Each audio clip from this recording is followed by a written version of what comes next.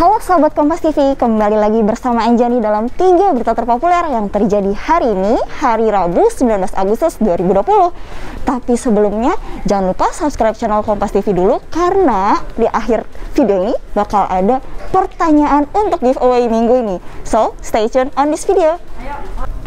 Berita pertama, Presiden Joko Widodo hari ini melantik Mahfud MD sebagai Ketua Komisi Kepolisian Nasional atau Kompolnas untuk periode 2020 hingga 2024. Pelantikan ini berlangsung di Istana Negara pada Rabu siang ini. Presiden Joko Widodo melantik susunan keanggotaan Komisi Kepolisian Nasional atau Kompolnas. Pelantikan ini tertuang dalam Keputusan Presiden Republik Indonesia Nomor 54 Garis Miring M tahun 2020 tentang pemberhentian dan pengangkatan Kompolnas.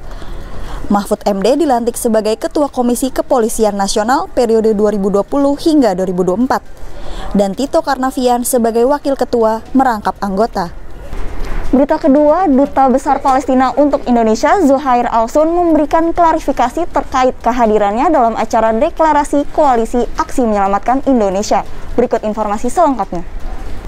Dalam pernyataan resmi tersebut, Duta Besar Palestina Zuhair Al-Sun menjelaskan kehadirannya dalam acara deklarasi kami atas undangan dari Din Syamsuddin. Selain itu, Zuhair juga menegaskan partisipasinya berdasarkan pemahaman bahwa acara tersebut adalah acara peringatan Hari Kemerdekaan Republik Indonesia dan bukan yang lainnya. Nah, berita ketiga ada yang unik nih. Pemerintah resmi meluncurkan 4 seri perangko dalam memperingati hari ulang tahun kemerdekaan Indonesia yang ke-75. Seperti apa penampakannya? Ini dia liputannya untuk Anda.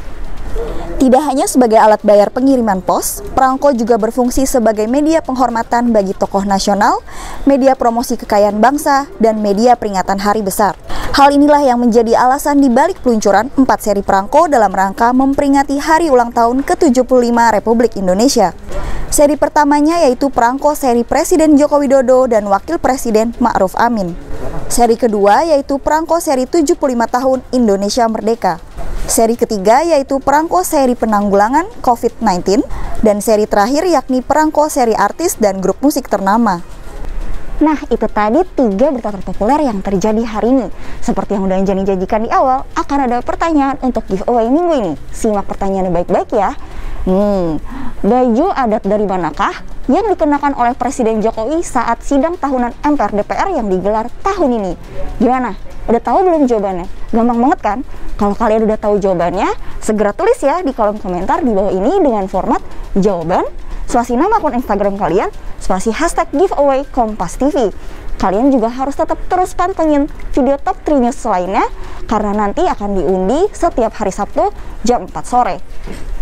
Nah, sudah selesai nih Anjani mengabarkan tiga berita terpopuler hari ini. Jangan lupa ya untuk tetap like, comment, share, dan subscribe YouTube channel Kompas TV. Saya Anjani, pamit undur diri dulu. Dadah!